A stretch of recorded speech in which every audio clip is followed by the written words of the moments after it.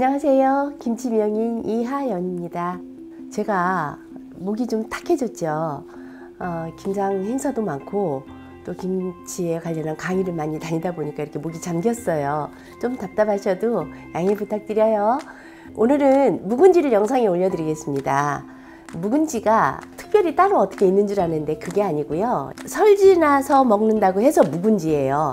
그거를 저만의 레시피를 만들어 놨어요. 그걸 여러분께 공개해 드리겠습니다.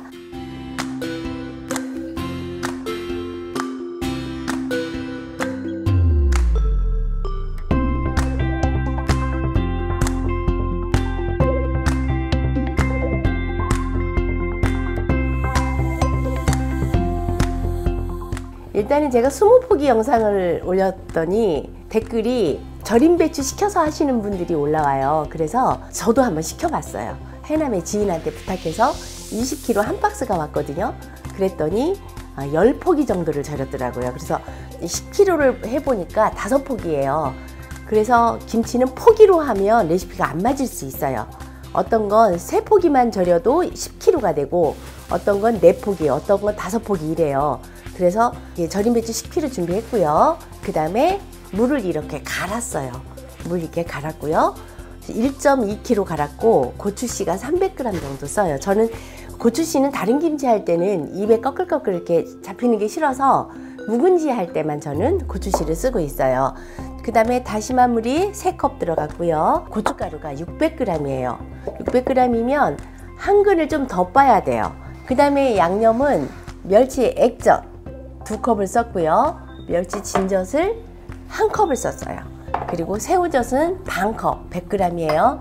그리고 마늘은 300g, 생강은 60g 정도 썼어요. 여기에 멸치가루 큰 숟가락으로 한 숟갈 썼습니다. 이렇게 해서 준비가 다 됐기 때문에 양념을 먼저 버무려 보겠습니다. 자, 여기 무 가른 거 넣고요. 고춧가루도 넣으세요. 준비된 거 다 넣으시면 돼요. 그냥 주씨도 들어가고요. 자, 이거를 다시마 물과 액젓하고 먼저 이렇게 섞어서 해주세요.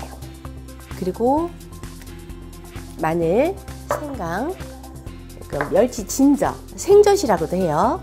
이게 들어가야 더 구수해요. 그리고 새우젓이에요.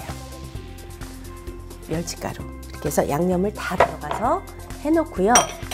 여기에 부재료가 김치가 빨리 쉬어질 수 있는 요소를 빼는 거예요. 그게 뭐냐면 찹쌀죽 뺐고요.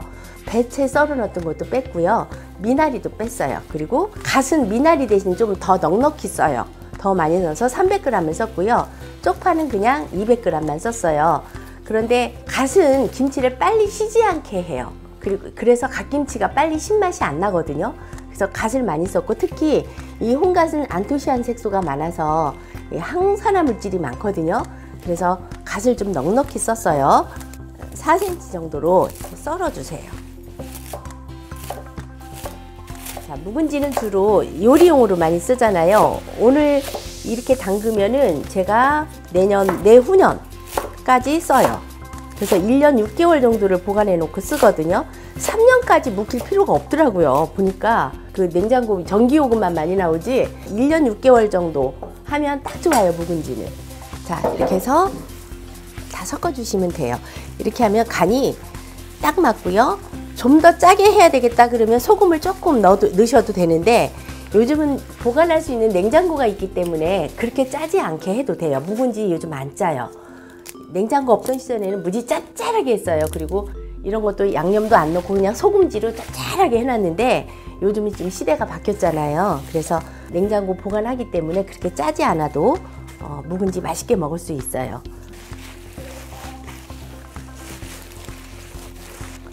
이렇게 해놓고요.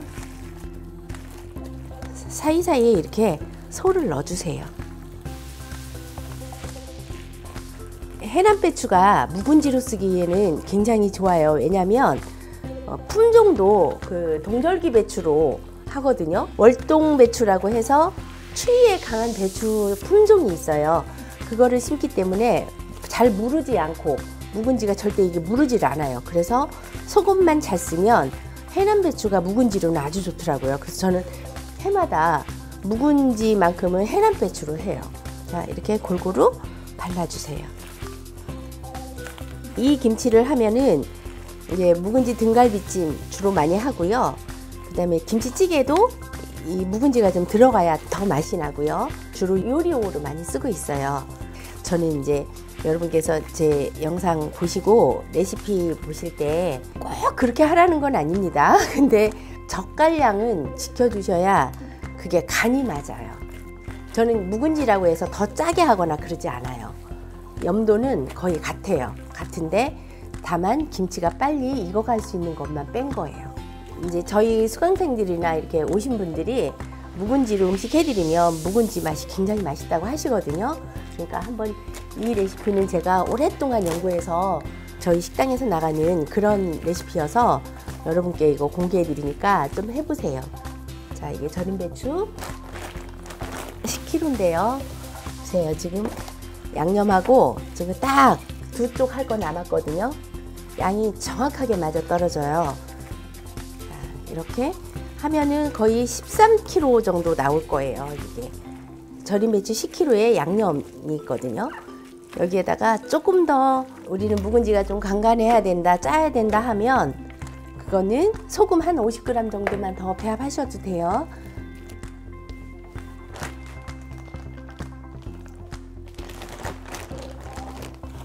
자, 1년 이상 두고 먹으려면 소금이 방부제 역할을 하거든요. 그래서 위에 겉잎을 덮어줘야 돼서 겉잎을 좀 처음에 좀 떼놓고 이렇게 소금으로 이렇게 묻혀주세요.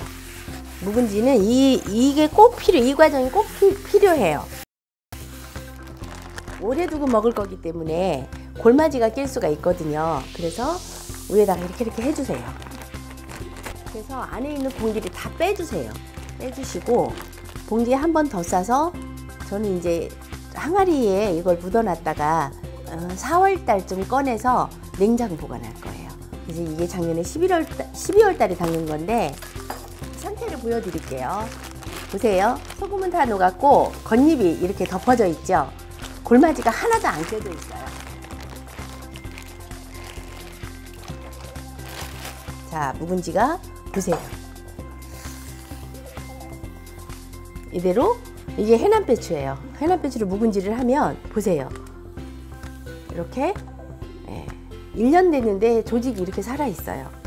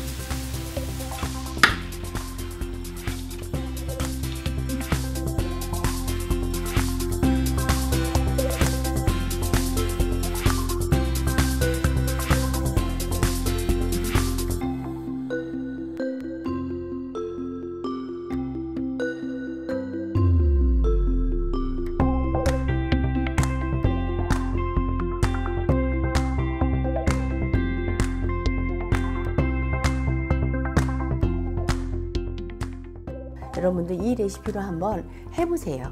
그러면 맛있는 김치 요리를 밥상에 올릴 수 있을 거예요. 네, 오늘 묵은지 영상 아, 잘 보셨나요?